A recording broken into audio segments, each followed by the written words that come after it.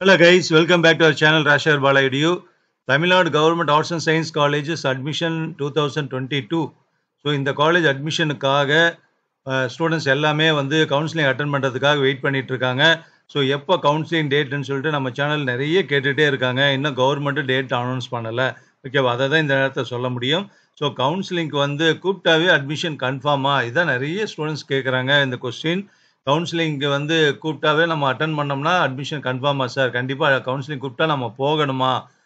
இல்லை வந்து வேற என்ன பண்ணுறது அப்படிங்கிற மாதிரிலாம் கேட்டிருந்தாங்க. அதுலேயும் ஒரு பர்டிகுலராக ஒரு ஸ்டூடெண்ட் வந்து ஒரு கேட்ட கேள்வி அதுக்கான பதில் வந்து இந்த வீடியோவில் இருக்குன்னு நினைக்கிறேன். அது கொடுக்கறதுக்காக தான் இந்த video. So TNGSC two thousand twenty two கவுன்சிலிங்கில் வந்து ரொம்ப முக்கியமான விஷயம் நம்ம எதிர்பார்க்கறது வந்து கவுன்சிலிங் டேட்டும் அட்மிஷன் தான். ஸோ இப்போ கவுன்சிலிங்னா என்ன அட்மிஷன் என்ன அப்படின்னு சொல்லிட்டு போட்டு கன்ஃபியூஸ் பண்ணிக்கிறாங்க நிறைய ஸ்டூடெண்ட்ஸு அதனால் வந்து அந்த கன்ஃபியூஸை வந்து நம்ம கிளியர் பண்ணணும் சரியான ஒரு தெளிவு கொடுக்கணும் அப்படிங்கிறதுக்காக தான் இந்த வீடியோ கொடுக்குறேன்.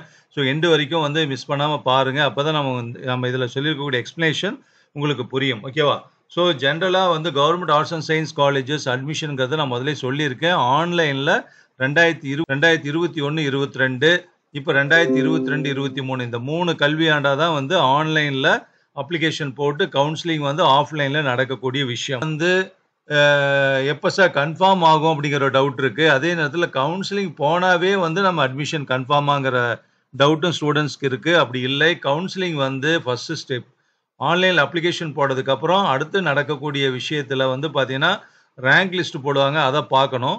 அதுக்கப்புறம் வந்து கவுன்சிலிங் கூப்பிடுவாங்க கவுன்சிலிங் அட்டன் பண்ணணும்.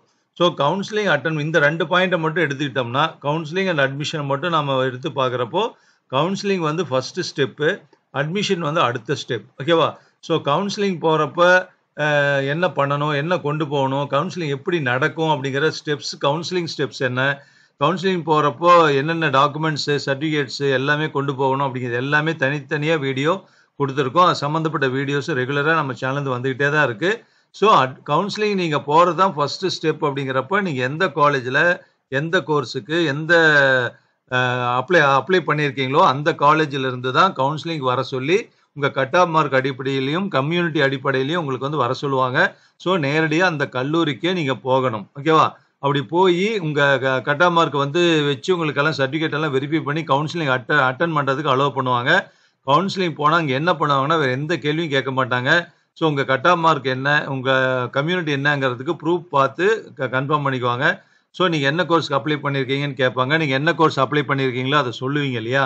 சொன்னதுக்கப்புறம் அவங்க சீட் இருக்கான்னு பார்ப்பாங்க. அந்த கம்யூனிட்டியில் உங்கள் மார்க்குக்கு வந்து சீட் இருக்கான்னு பார்ப்பாங்க. சீட் இருக்கு அப்படின்னு சொன்னால் அப்போ அட்மிஷன் கன்ஃபார்ம்னு அர்த்தம். ஓகேவா புரியுது இல்லையா? அப்போ இந்த இடத்துல என்ன ஆகுது? Counselling counselling is converted into admission counselling first stage admission on the spot அப்போவே கன்ஃபார்ம் ஆயிரும். இல்லை அப்படின்னா கன் அட்மிஷன் கன்ஃபார்ம் ஆகலைன்னு அர்த்தம். இல்லை இந்த மார்க் வந்து நீங்கள் கவுன்சிலிங் வந்ததுனால நாங்கள் கூப்பிட்றோம். இப்போ அட்மிஷன் வந்து உங்கள் ம இந்த கட் ஆஃப் மார்க்குக்கு அட்மிஷன் இல்லை சார் உங்கள் கம்யூனிட்டியில் சீட்டு முடிஞ்சிச்சு அப்படின்னு சொல்லிட்டீங்கன்னா அட்மிஷன் இஸ் நான் சொல்லிட்டாங்கன்னா காலேஜில் admission is not at all கன்ஃபார்ம்டுன்னு அர்த்தம். ஸோ கவுன்சிலிங் போகிறது கவுன்சிலிங்காக வர சொல்லி போகிறது ஒன்று அங்கே போய் சீட்டு கிடைச்சா அது அட்மிஷனாக மாறுது. சீட்டு கிடைக்கலன்னா அட்மிஷனும் வந்து அட்மிஷனும் ஆகாது. அட்மிஷன் கிடைக்கலன்னு அர்த்தம். அப்போ அந்த கவுன்சிலிங் போனது வேஸ்ட் ஆகிடுது நம்ம அடுத்த காலேஜுக்கு எப்போ கவுன்சிலிங் வரும்? அல்லது அடுத்த கோர்ஸுக்கு அந்த காலேஜ்லேருந்து எப்போ கவுன்சிலிங் வரையும் நம்ம எதிர்பார்க்கலாம். ஓகேவா ஸோ இதுலேருந்து தெளிவாக உங்களுக்கு பாயிண்ட் ஒன்று புரிஞ்சிருக்கும். கவுன்சிலிங் வேறு அட்மிஷன் வேறு. கவுன்சிலிங் போனாவே உங்களுக்கு அட்மிஷன் கன்ஃபார்ம் ஆனால் இல்லை.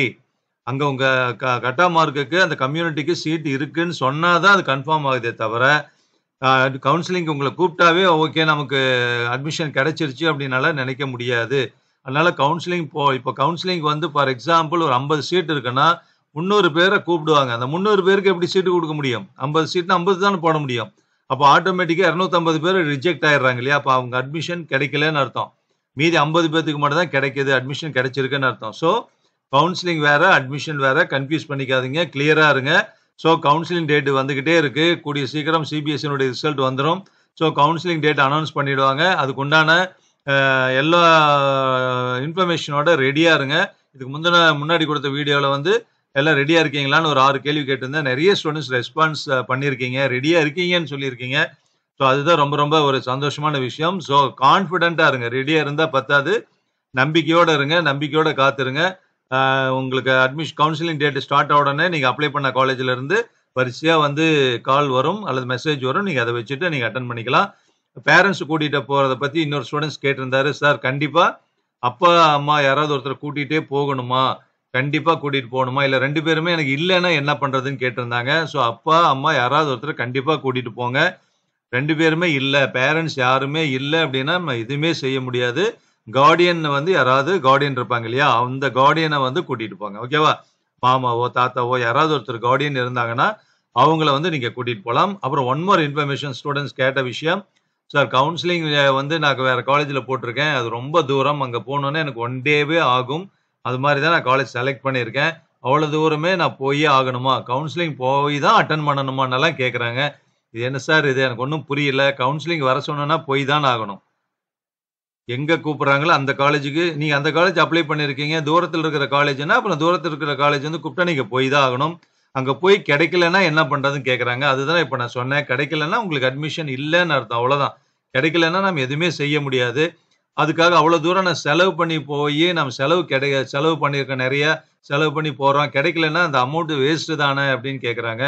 ஸோ கண்டிப்பாக அமௌண்ட் வேஸ்ட்டு தான். ஆனால் வேஸ்ட்டுன்னு நினச்சிங்கன்னா நீங்கள் எதுவுமே செய்ய முடியாது. அவங்கள அவருக்கு வந்து ஒரு ஆன்சர் நான் பண்ணேன். அந்த ஆன்சர் கொடுத்ததுக்கப்புறம் எனக்கே ஒரு ஃபீலிங்காக தான் இருக்குது அப்படி அந்த ஆன்சர் கொடுத்து தப்போ அப்படிங்கிற மாதிரி இருந்தாலும் அவருக்கு நல்லா புரியணும் அப்படிங்கிறதுக்காக தான் நான் அந்த ஆன்சர் சொல்லியிருக்கேன்.